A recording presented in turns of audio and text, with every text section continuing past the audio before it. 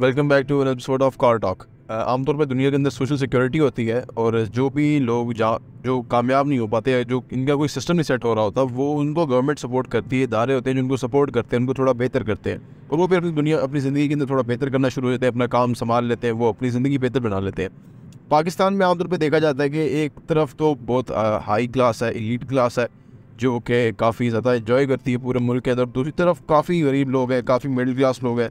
जो कि हर वक्त परेशानियों का शिकार होते हैं, हर वक्त डॉलर ऊपर जा रहा है प्राइस जो रुपये की कदर है वो नीचे आती जा रही है, उनके पैसे पड़े पड़े कम होते जा रहे हैं।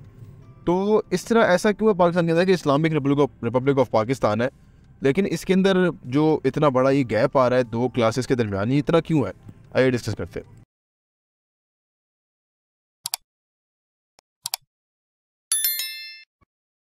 वालेकुम वरकत मेरा नाम अहमद अकील, आप देख रहे हैं प्रॉपर देखिए जी, तीसरी दुनिया तरक्की पजीर दुनिया के अंदर ये मसाइल बहुत ज़्यादा बढ़ गए हैं।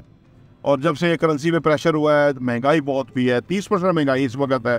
अब आप सोचिए कि जो मुलाजम पेशा बंदा है, और ख़ासतौर पर जो छोटे मुलाजम हैं, जिनकी तनख्वाह पचास हज़ार, तीस हज़ार, पैंतीस हज़ार है।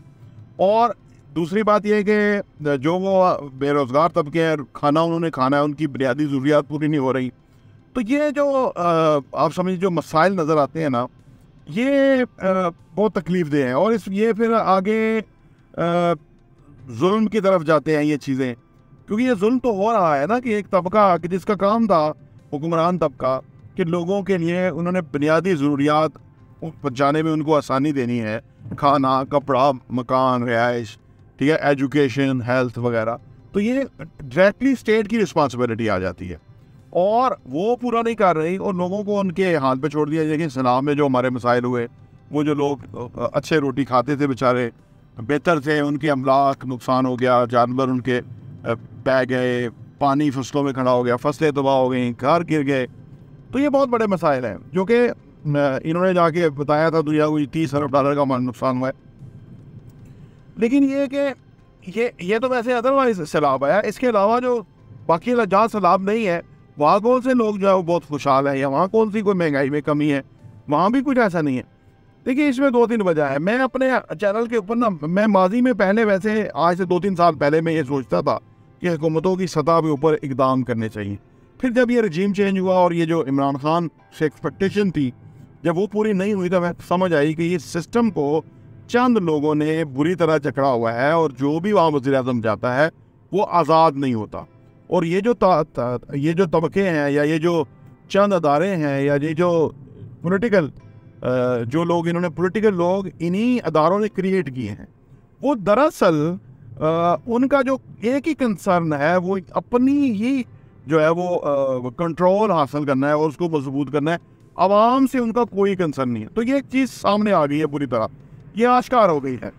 जो अरशद शरीफ का कत्ल हुआ जिन्होंने कत्ल करवाया जितनी उनके ऊपर लोगों ने अभी कासिम अली शाह को बात करने की कोशिश की तो लोगों ने ट्रोलिंग की।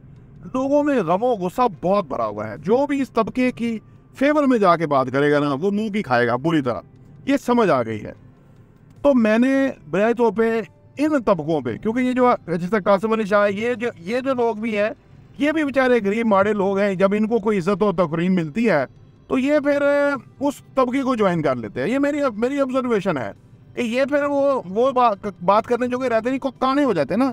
जब ये भी काने हो गए, इसको कोता मिल जाएगा, कल को कुछ को वज़ीर लगा देंगे तो ये भी वही हो जाएगा, क्योंकि ये जो लेके आए इस्टेब्लिशमेंट या जिस तरह के लोग, इस तरह के मोरे लेके आते हैं तो वो फिर स्पॉन्सर्ड हो जाते हैं तो वो फिर, वो बात नहीं कर सकते। तो ये छोटे लोग होते हैं जो कि आमतौर पर आपने देखा बंदा सोचता है ना कि यार, कोई भी बंदा उस लेवल पर पहुँचता है तो यानी वो काना हो जाता है, उस, वो कुछ भी नहीं कर सकता। कोई जर्नैल की लेवल पे पहुँचता तो सारे एक चीफ जस्टिस या सुप्रीम कोर्ट का जज बनता है या हाई कोर्ट का चीफ जस्टिस बनता है तो वो सारे जो है ना वो आ, वो जो बेफ़ायदा हो जाते हैं माशरे में उनको कोई फ़ायदा नहीं है उनका। ये क्यों है? तो मुझे समझ आई है कि ये जो मेरा सोचने का अंदाज था वो गलत है। ये सारे बदकरदार लोग हैं जो कि इस मुल्क को खुद नहीं बदलने देना चाहते। वो इस गरीब तबके के ऊपर खुद ही अपना तसलत कायम रखना चाहते हैं और ये उनको सूट करता है। तो अब क्या कीजिए? अब ये कीजिए कि भाई जो लोग हैं वो खुद अपने पैरों पे खड़े हों। ये है बहुत डिफ़िकल्ट ये बहुत डिफ़िकल्ट है कि लोग अपने पैरों पे खड़े हों वो अपने आप को संभालें वो अपने आप को देखें। जैसे आप फ़र्ज़ करें आप कह, कि को कह, किसी जगह कैद कर दिया जाए। तो एक सूरत यह है कि आप कैद में पड़े हैं दूसरी यह है कि आप अपने हाथ पाँव मारे उस कैद से आज़ादी हासिल करने की कोशिश करें। हाँ असल में कैद में है। इसमें जो लोग बाशूर होंगे जो लोग थोड़े बेहतर होंगे उस पूरे क्राउड से वो आज़ादी हासिल कर लेंगे। और उनके लिए फिर आज़ादी यही है कि वो अपने मुल्क में भी उनकी एक एक एक, एक बेहतरीन लाइफ हो सकती है और बाहर जा सकते हैं दुनिया भर में घूमे फिरें। वो जो ढाई करोड़ लोग हैं पाकिस्तान के अंदर ना जो कि एफबीआर ने अपने डाटा में फाइंड किया था कि वो ढाई करोड़ लोग पाकिस्तान के ना टैक्स देते हैं महँगी गाड़ियों में घूमते हैं, महँगी गाड़ियाँ ख़रीदते हैं बाहर ट्रैवल करते हैं रेस्टोरेंट में खाना खाते हैं, बड़े हॉस्पिटल के अंदर महँगे इलाज करवाते हैं, वो ढाई करोड़ लोग टैक्स देते देते।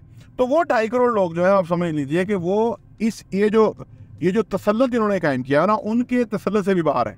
वो बहुत क्लेवर हैं, वो होशियार हैं, वो इनको भी चक्कर देते क्योंकि इनकी भी एक लिमिटेशन है ना।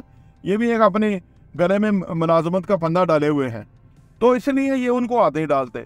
फिर जो बाकी के आप सोच लो कि कोई सोलह सतारह अठारह या बीस करोड़ लोग हैं वो इनके हथे चढ़े हुए हैं उन्हीं के ऊपर ये महँगाई कर देते हैं और टैक्स लगा देते हैं उन्हीं के ऊपर ये जो है वो आ, अभी अभी आईएमएफ कह रहे हैं डेढ़ सौ दो सौ अरब के मज़ीद टैक्स लगाओ और लोगों को फांसो और उसमें तो मैं आपको हम आप बात करता हूँ तो इनकी बात ये चल रही है कि भाई हम तो उनको उनको कर देंगे ढाई सौ अरब या दो सौ अरब रुपया हम उनको दे देंगे टैक्स के शक्ल में उनसे ले लेंगे, क्या आप हमें आईएमएफ का प्रोग्राम जो है वो उसको बहाल कर देंगे? तो वो अब ये इनको ओके नहीं कर रहे, क्योंकि इनको डर है कि वो आईएमएफ कहेगा कि नहीं, साढ़े पाँच सौ अरब के टैक्स लगाओ उन गरीब लोगों के ऊपर।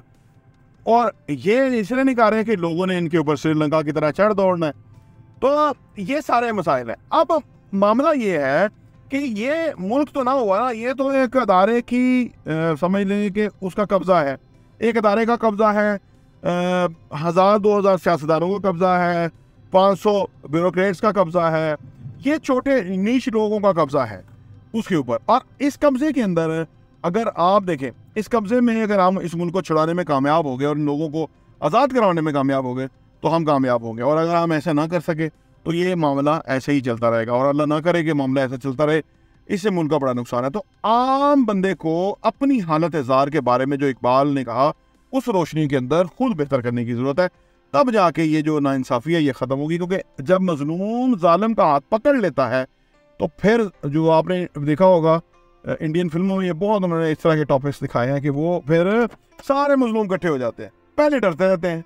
जब वो एक को आगे मुक्का मारता है। जैसे इमरान ने बड़ी दलेरी और बहादरी का मुजाहरा किया कि उसने कहा कि इनके नाम लिखो जिन्होंने मेरे ऊपर हमला करवाया कोई सोच नहीं सकता था, लेकिन उस दलेर इंसान को इस्लाम है कि वो ऐसे अगर और दलेर पैदा हो गए तो फिर पाकिस्तान आज़ाद हो जाएगा और पाकिस्तान तरक्की कर जाएगा प्रॉप टी देखने का बहुत बहुत शुक्रिया।